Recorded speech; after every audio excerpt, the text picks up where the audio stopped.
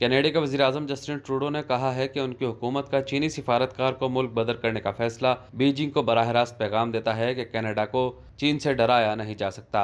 Trudeau ने यह remark, चीनी सिफारतकार जाओ वी को मुल्क बदर करने के एक दिन बाद दिए, जब एक इंटेलिजेंस रिपोर्ट ने उन पर कदामत पसंद रुकने पार्लियामेंट माइकल चोंग के खानदान को निशाना बनाने की कोशिश करने का इल्ज़ाम लगाया, जो चीन की अपनी एक और मुस्लिम अकलीत के साथ रवा रखे जाने वाले सलूक पर तनकीद करते रहे हैं। ट्रूडो ने काबीना के इजलास में जाते हुए कहा कि हमें एक बहुत वाजह पैगाम भेजने के लिए जिम्मेदाराना अंदाज में आगे बढ़ने की ज़रूरत है। हम गैर मुल्क मुताखरत को कबूल नहीं करेंगे और चाहे वो जो भी इंतखब करें, हमें डराया नहीं जाएगा। एक सीनियर हुकूमती ज़रिए ने मकामी चैनल को बताया कि जाओ को मुल्क बदर करने का फैसला करने से पहले वज़ीर खारजा मेलानी जोली ने तजारत और सिक्योरिटी फाइलों में शामिल वजरा से चीन की तरफ़ से मुमकिन जवाबी कार्रवाई के बारे में राय तलब की। जराए ने यह भी कहा कि कनाडा ने चीन को यह इख्तियार नहीं दिया कि वो अपने सिफारतकार को निकाले जाने से पहले कनाडा से निकाले। ट्रूडो ने कहा कि सिफारतकार की मुल्क बदरी से चीन और दूसरे ममालिक को कनाडा के अंदरूनी मामला में मुदाखलत करने की कोशिश कर रहे हैं। उन्हें पैगाम जाएगा कि कनाडा गैर मुल्क मुदाखलत को गैर मामूली तौर पर संजीदगी से लेता है। उन्होंने कहा कि एक सिफारतकार को मुल्क बदर करना गैर मुल्की सिफारतकार को नॉन ग्रेटा करार देना एक अहम और संजीदा इकदाम है। हमने इस पर गौर करने, मुमकिन मजम्मरात को देखने, इस बात को यकीनी बनाने के लिए एक हफ़्ते से भी कम वक्त लिया कि हम जो कुछ कर रहे थे, वो कैनेडा की मजबूती को ज़ाहिर करता है, जो ये करता है, बल्कि कैनेडियन शहरियों और हमारे मफादात को भी महफूज रखता है। हुकूमत को अपोजिशन की जानब से इस बात पर तनकीद का सामना है कि उनके कहने पर रद्द अमल सुस्त रहा है।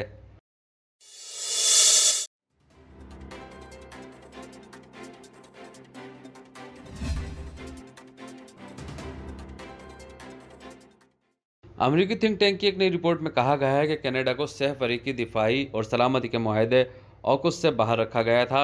कनाडा को इस माहदे या इसके इतिहादियों के पीछे छोड़े जाने के खतरे के बारे में अपनी जाहिरी बहसी पर काबू पाना चाहिए। वाशिंगटन में कायम centre for strategic and international studies की जानब से ऑनलाइन शुआ होने वाली तजियाती रिपोर्ट वजी अजम जस्टिन ट्रूडो के सबक कौमी सलामती और इंटेलिजेंस मशीर विंसेंट ट्रिकबी की शराकत से तैयार की गई है।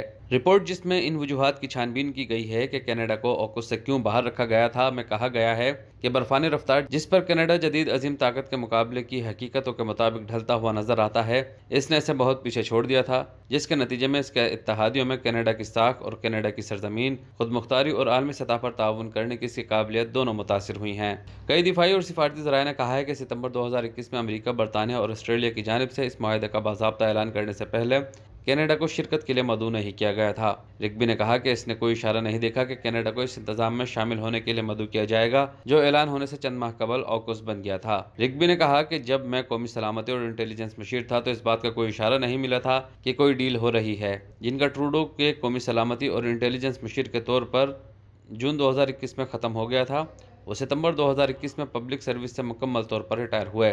Centre for strategic and international studies की रिपोर्ट से इतफाक़ किया गया है कि कनाडा का कुछ पॉलिसी फ्रेमवर्क और इकदाम खासतौर पर जो अहम मादानियात के कब्जे और तरक्की से मुतालिक हैं, इसे एक अहम मुमकिन शराकत दार बनाते हैं। रिपोर्ट में कहा गया है कि ओकुस में शामिल न होने के नतज कम खुशगवार हो सकते हैं।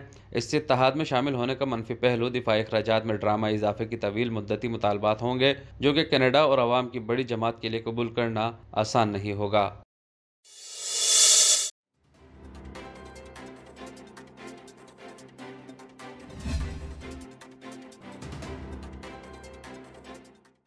कनाडा के सुबह ब्रिटिश कोलंबिया के बहुत से हिस्सों के लिए पेशन गोई में गैर मामूली गर्म मौसम, मजीद सैलाब और जंगल की आग के खदशात को बढ़ा रहा है। हुकाम का कहना है कि वो वस्ती अल्बर्टा में इस आने वाले हफ़्ते के आखिर में गर्म मौसम की तैयारी कर रहे हैं, जिससे जंगल की आग मजीद फाल होने का खतरा है। हुकाम का कहना है कि सूबे के बहुत से शुमाली इलाकों में आग का खतरा ज़्यादा है, जिसका मतलब है कि हम अब भी वहाँ जंगल की आग के फाल रवैये को देख सकते हैं। लेकिन सूबे के ज़्यादातर जुनूबी और वस्ती हिस्सों में ठंडे दर्ज हरारत और नमी की वजह से फायर फाइटर्स की मदद की गई है। मंगल की सह पहर तक सूबे में अट्ठासी जंगल की आग जल रही थी, जिनमें से चौबीस काबू से बाहर थी जबकि चौबीस हज़ार लोग बेघर हुए।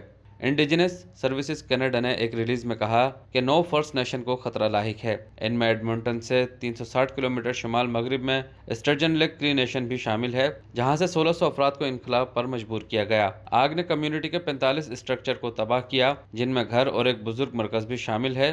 बिजली का बुनियादी ढांचा भी तबाह हो गया। उन्होंने कहा कि लोग मामूल पर आने पर खुश हैं, लेकिन लोगों को इनखला घरों और खुराक की कमी और आमदनी में कमी के साथ कुछ माली नुकसान पहुँचा है।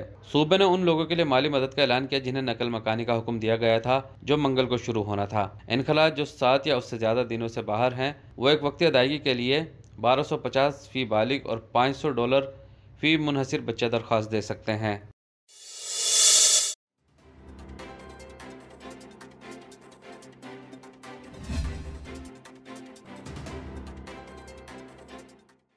सबक अमरीकी सदर डोनाल्ड ट्रंप को खातून जैन कैरोल के साथ उन्नीस सौ छियानवे में जिनसी बदसलूकी के जुर्म में मुजरिम करार दे दिया गया। जूरी का अपने फैसले में कहना है कि सबक सदर ट्रंप ने जैन कैरोल की शोहरत को भी नुकसान पहुँचाया। तहम यह वाजह किया गया है कि सबक सदर ने जिनसी ज्यादती नहीं की थी। सिविल मुकदमा होने की वजह से सबक सदर पर ना तो फर्द जुर्म आयद की गई है और ना ही उन्हें कैद का सामना होगा।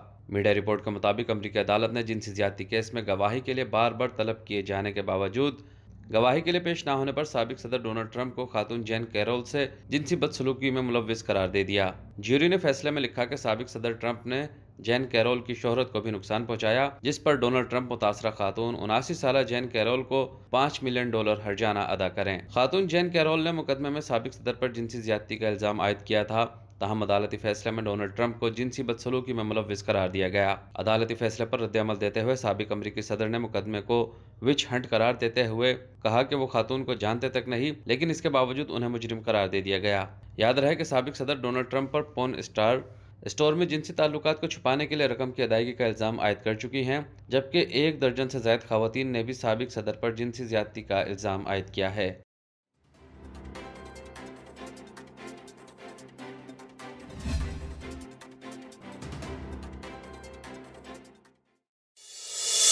रूसी सदर व्लादिमिर पुतिन ने कहा है कि रूस का मुस्तकबिल यूक्रेन में लड़ने वाले फौजियों पर मुनहसर है।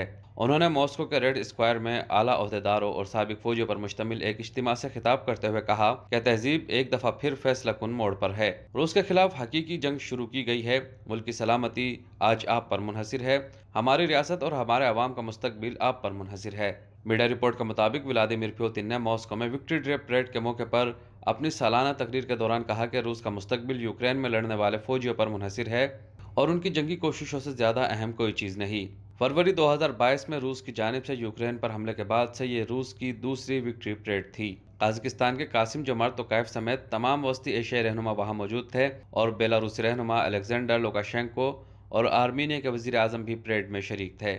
इस साल की परेड मुख्तर थी और इसमें ना कोई मिलिट्री फ्लाई पास था और ना ही कोई जदीद टैंक जो कि आमतौर पर परेड की खसूसियत हैं। ताहम 2020 के बाद पहली बार बैन अवी रहनुमाओं ने परेड में शिरकत की। प्यूटिन ने मगरबी रहनुमाओं को निशाना बनाते हुए कहा कि इनका मकसद हमारे मुल्क के जवाल के सिवा कुछ नहीं हालाँकि रूस एक पुरअमन मुस्तकबिल देखना चाहता है। उन्होंने अपनी तकरीर में मगरबी अशराफिया पर नफरत और रूसोफोबिया के बीज बोने और ख़ानदानी इकदार को तबाह करने का इल्ज़ाम लगाया, लेकिन उनकी तकरीर का ज़्यादातर हिस्सा यूक्रेन में रूसी हीरोज की कार्रवाइयों पर उनके फ़ख्र पर मरकूज था। दूसरी जानब प्यूतिन की तकरीर के बाद यूक्रेन के सदर व्लादिमिर जेलेंसकी और यूरोपीय यूनियन कमीशन की सरबरा उर्सुला वान दियरलैन ने कीफ में एक न्यूज़ कॉन्फ्रेंस की। यूक्रेनी सदर जेलेंसकी ने कहा कि हालिया हफ्तों में यूक्रेन पर बढ़ते हुए हमले, फौजी और सियासी क्यादत के सामने कुछ पेश करने की रूसी कोशिशों का हिस्सा थे, क्योंकि वो योम फतह से कबल मशरकी शहर बाखमूत पर कब्जा करने में नाकाम रहे।